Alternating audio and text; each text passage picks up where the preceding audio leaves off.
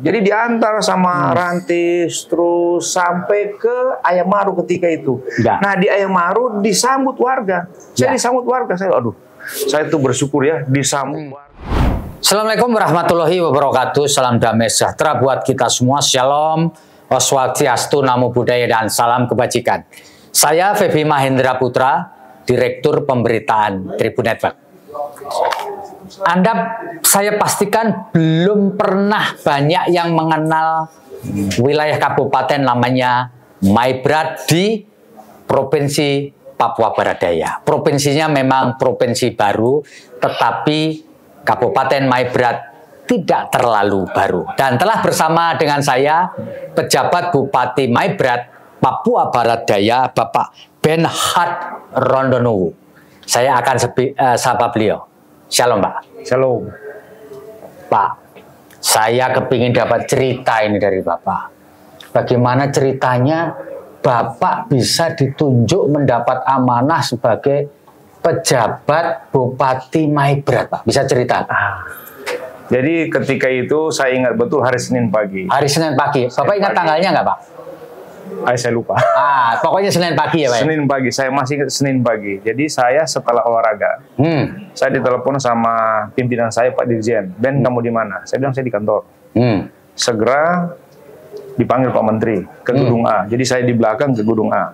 Jadi saya baru selesai olahraga, Hmm. saya cepat-cepat persiapan langsung jalan. Tidak sampai 10 menit saya sampai di gedung A. Hmm. Saya masuk di ruangan, saya lihat, "Duh, ada Pak Menteri di situ. Hmm. Saya langsung menghadap, saya hormat beliau. Hmm. Pertanyaan beliau simpel sebenarnya. Ya. Siap. Saya sebagai aparatur sipil negara, jawaban saya cuma siap Pak Menteri. Kedua kali lagi, siap. Saya bilang siap Pak Menteri. Hmm. Ketiga kali, Anda siap? Siap Pak Menteri. Hmm. Pikir baik-baik, saya siap Pak Menteri. Habis itu ya sudah duduk. Betul. Nah, beliau baru sampaikan, Anda nanti akan ditempatkan di wilayah Papua Barat. Hmm. Waktu itu, saya Nah, bilang saya siap Pak Menteri. Hmm. Nah, setelah itu beliau cerita. Sembari beliau cerita, saya lagi memikirkan Maibrat itu di sebelah mana. Jadi pikiran saya mutar ke mana-mana. Maibrat itu seperti apa? Cuma saya memang sudah pernah datang ke Sorong Ya. ke Sorong Selatan ketika itu tahun 2008. Jadi saya sudah ada bayangan. Saya merasa kuat karena kebetulan saya lama di IPDN Hmm. membina praja-praja asal dari Papua. Ya. Jadi setidaknya saya sudah bisa mengenal watak, gaya, dan pola pendekatan apa yang kira-kira saya harus bangun ketika saya akan sampai di Maibrat. Begitu, Mas Febi. Pak, masih ingat nggak bulannya bulan apa? Kalau Bapak nggak ingat tanggalnya, minimal bulannya. Agustus. Bulan Agustus tahun 2022. Iya. Ya, jadi Bapak di kantor Kementerian Dalam Negeri Betul. dipanggil. Setelah Bapak menerima amanah itu, apa yang Bapak lakukan? Nah, setelah saya kemudian kembali ke ruangan saya, Hmm. langsung saya ketik di YouTube My Brat langsung lihat nah Senin, Selasa, Rabu, Kamis, Jumat tiada hari tanpa saya membuka apakah YouTube apakah Google Ya. apa saja yang menyangkut media Hmm. My Brat saya lihat oh seperti ini Hmm. jadi saya sudah ada bayangan kemudian kira-kira Hmm. kalau saya sampai ke Maibrat itu Hmm. seperti apa? Saya sebenarnya banyak kontak-kontak person yang ada Ya, di ya. Maibrat, cuma saya tidak mau Oke. hubungi mereka. Saya ingin supaya apa yang saya rasakan saya lihat langsung supaya Ya, oh ya. seperti ini Maibrat. Ya, Begitu. Pak, bisa cerita Pak, waktu Bapak dipanggil oleh Pak Menteri itu, jabatan dan posisi Bapak di Kementerian Dalam Negeri menjadi apa Pak? Jadi saya kebetulan Ya, Direktur Polisi Pamong Praja dan Linmas Kementerian Dalam Negeri. Iya iya iya. iya.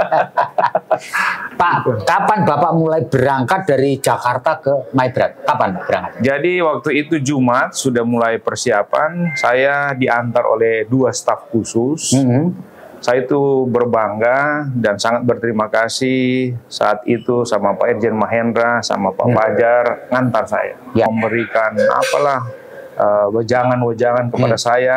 Hanya satu yang saya janji dalam hati saya, saya sudah diberikan tugas. Hmm. Saya harus mempertanggungjawabkan Hmm. amanah Gitu, itu ya. dengan tentunya bekerja lebih baik. Karena Bapak sudah bilang siap kan tadi? Ya, betul. Oke. Setelah Bapak melihat kondisi fisik, melihat sendiri Maibrat, Apa yang terpikir dalam benak Bapak? Nah, satu ketika saya pas masuk di Maibrat itu Hmm. langsung saya diterima oleh Kapolres. Saya ingat betul. Kapolres. Sampai di sana Kapolres dengan rantisnya. saya bilang, waduh.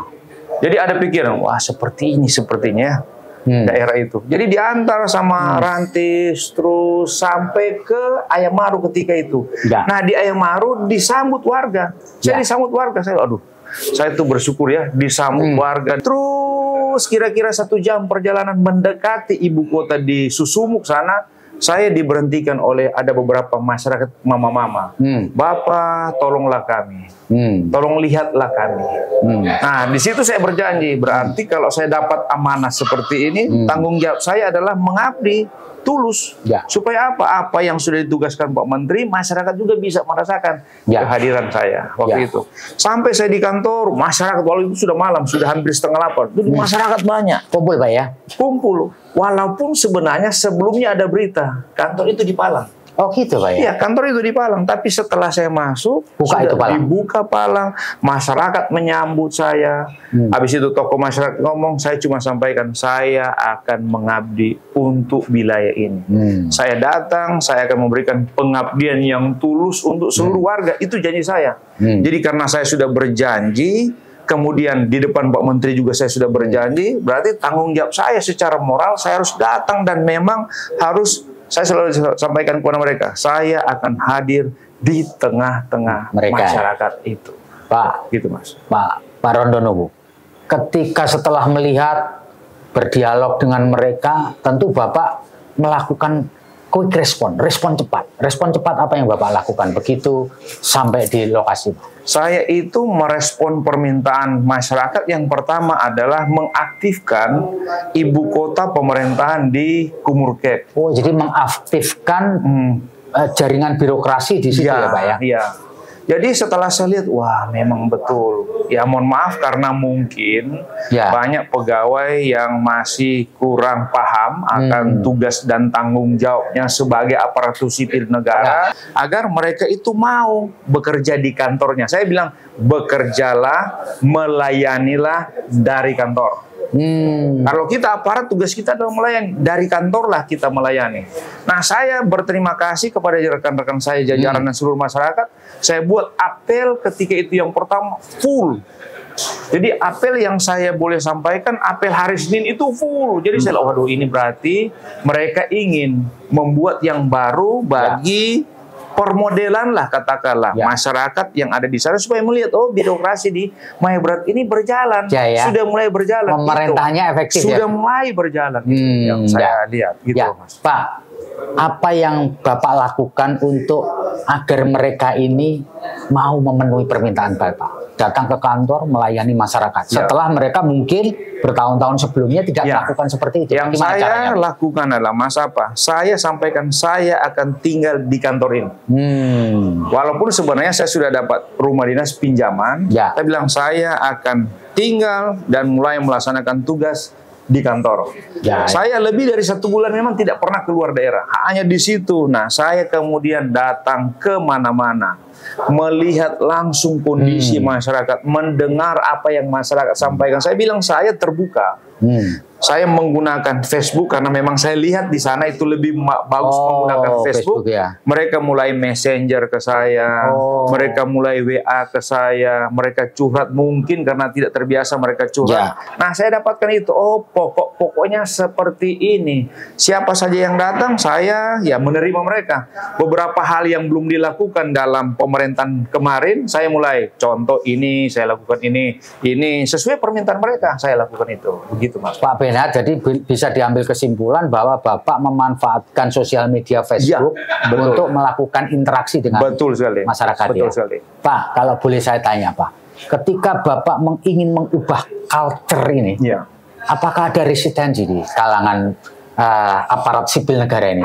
Kalau resistensi saya pikir iya. Ya, Karena apa? Orang yang sudah terbiasa, mungkin mungkin sudah Hmm. juga mulai akan membudaya. Hmm. Kita robah ke paradigma yang lebih baik pasti karena orang kan tidak terbiasa Ya, ya, contoh ya, ya. bangun pagi tidak terbiasa Hmm. harus apel bekerja sekian jam di kantor pulang dan seterusnya Hmm. tapi bagi saya itulah yang namanya proses secara gradual agar perubahan-perubahan itu pelan-pelan karena kita push lebih cepat dan lebih keras mungkin agak sulit kalau saya itu Hmm. cepat tapi tidak akan terasa tapi kalau kita pelan-pelan pelan-pelan dan saya mewajibkan seluruh rekan-rekan saya itu buat WA group Oh gitu. WA group supaya apa? Itu komunikasi kami. Nah, saya selalu setiap pagi itu kata-kata mutiara mengajak rekan-rekan saya jadilah pelayan masyarakat yang terbaik. Abdikan diri kita Ya. untuk mengabdi masyarakat. Itu saya selalu artinya saya ingin menjadi contoh dan panutan bagi rekan-rekan agar mereka menjadi seorang birokrat yang betul-betul hadir dan melayani masyarakat. Pak, aparat keamanan tidak menyebut bahwa Maibrat itu tidak aman, tetapi perlu mendapat perhatian khusus. Betul. Itu maksudnya apa, Pak? Memang yang saya sampaikan pertama tuh Mas bahwa apa yang saya lihat di Google, Hmm. di YouTube Hmm. selalu beritanya itu dalam tanda petik ya ya kurang pas lah. Ya, Tapi saya ingin merubah kemudian image masyarakat terhadap Maibrat dengan apa? Saya mengaktifkan seluruh media. Hmm.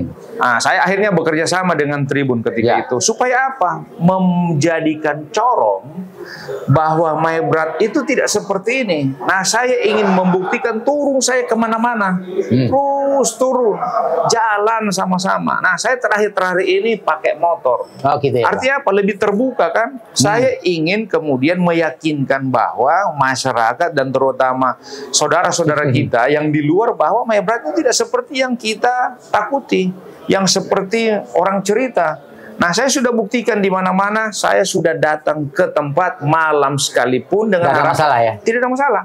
Ya. Masyarakat menerima dan memang di sana seperti itu, apa adanya. Ya. Ya, sekali lagi saya ingin begini agar masyarakat percaya bahwa memang Maibrat tidak seperti yang dibayangkan orang. Ya, ya, ya, Gitu. ya. Pak, Pak Benhar, kalau Bapak kepingin mengubah image bahwa Maibrat tidak aman, tentu Bapak melihat juga kehebatan wilayah ini yang bisa ditonjolkan itu apanya, Pak? Ya, jadi saya lihat yang mungkin kita bisa tonjolkan Ah. adalah keindahan alam. Oh gitu ya, Pak ya. Jadi kalau kita lihat Maibrat itu masuk mulai dari sebelah barat itu sebenarnya mulai dari kali. Kalinya itu bersih.